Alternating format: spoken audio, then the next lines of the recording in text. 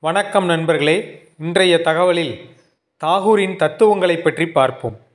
இவரின் தத்துவங்கள் வாழ்க்கையில் சில பிரச்சனைகளை தீர்க்கக்கூடியதும் மிக வல்லமை கொண்டதாகவும் இருக்கிறது.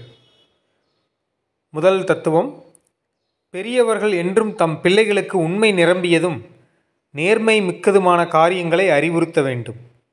இரண்டாவது தத்துவம் வாழ்க்கின் நோக்கத்தை போதிப்பதும் அதில் சத்தியத்தின் இணைப்பை கடைபிடிக்க செய்வதுமே கல்வியின் குறிக்கோளாக இருக்க வேண்டும்.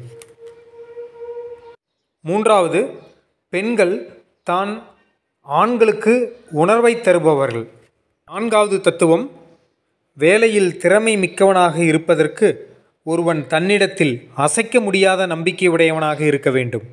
ஐந்தாவது தத்துவம் காதல் கொள்ளும் ஆண்களை பெண்கள் எப்போதும் சிறு பிள்ளைகளாகவே பாவிக்கிறார்கள்.